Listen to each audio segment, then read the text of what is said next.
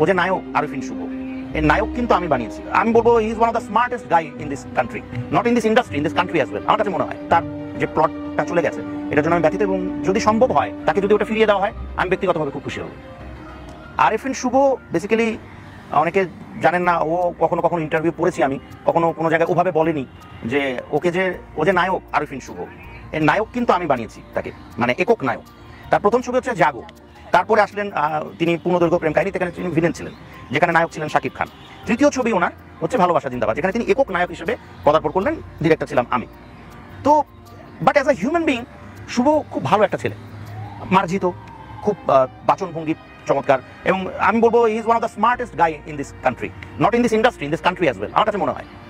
তো সব কিছুই তারা এত ভালো, তবে হয় কি, মানুষ কখনো কখনো পদক্ষেপগুলো ভুল পড়ে যায়, ভুল হয়ে যায়, কখনো কখনো নিয়তি তার পক্ষে থাকে না। তো যেটা হচ্ছে যে প্লট চলে যাওয়া, এই যে বিষয়গুলো ও আমাকে একটা সময় বাজান ডাকতো। তো অ্যাজ আ গার্ডিয়ান আমার কাছে এই অনুভবটা ভালো লাগেনি।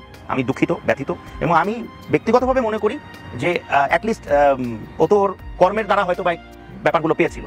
এবং সে ভালো কাজ করেছিল যে ছবিটা নিয়ে সে চমৎকার করেছিল। তো তার ডেডিকেশন আসলেই মানে অসাধারণ। তো সেই জায়গা থেকে আমি মনে করি যে যেটা হয়েছে হয়েছে, যেটাতে আসলে তার কোনো হাতও নেই।